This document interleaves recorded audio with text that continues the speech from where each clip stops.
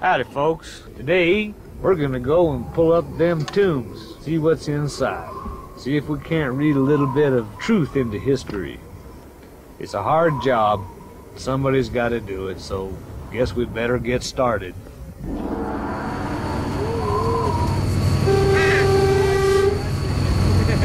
always wanted to blow the whistle on the Trans-Siberian Express. I've never had a job in my life. Maybe I just always wanted to be an archaeologist. Shades of light are falling. It's twilight time. Never believe people when they try to tell me that what I want to do is not possible or can't be done. I guess it just has to have meaning. It's tough out here in Central Asia.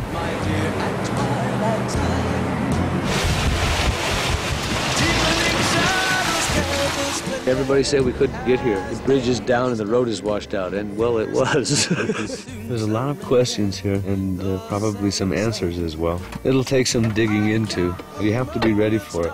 The great find would be find something relating to Buddha. Nothing speaks like success, after all. We can't imagine a king so great. I sincerely believe Genghis Khan is buried on, on Guntaiga.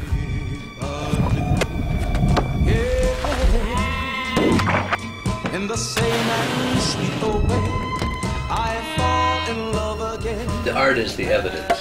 Everything else is bullshit. For me, it's all about discovery. I've never seen such an archaeologically rich place ever. Deep in the dark, your kiss will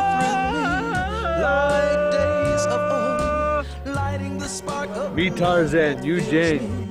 with dreams.